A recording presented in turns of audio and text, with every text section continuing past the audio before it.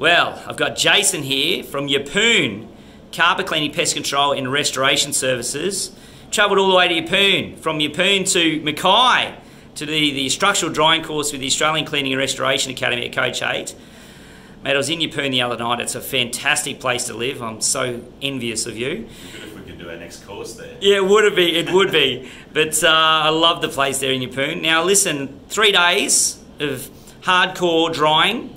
We've done extraction and moisture detection and mapping, and we've done dehumidification and heat drying and target drying, positive negative pressure, and had great camaraderie with all the guys, and we went out for dinner last night. What, what do you think about this through last three days?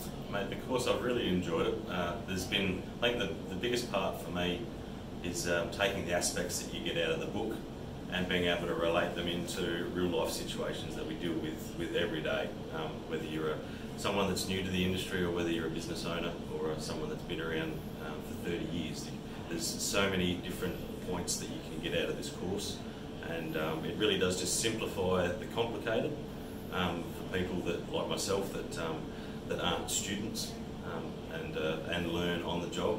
Um, yeah, I've, really enjoyed my time, and, it's a good bunch of group that everyone's got some experience. There's not too many brand new people in the group, so um, yeah, the level of conversation has, has been really good, and it's good for networking and uh, and to grow your business and, and uh, hopefully take the next step. I haven't been too crazy in the course, have I, with my little antics and going a bit nuts. I know I'm a bit crazy. What? How's the training aspect for me? Is it, is it, is it, is it easy to pick up? Yeah, it is. At times you uh, it can be quite animated, but uh, that definitely lightens the mood. But no, it's easy to follow. Um, you don't get uh, you don't use the big words that you can get from other other lecturers, and the, I don't know whether that's them trying to impress you or confuse you.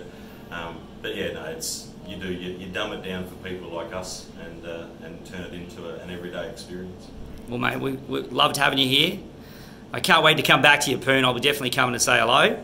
And um, thanks for being here last three days. And today we've got mould in behind. We've got some people already arriving.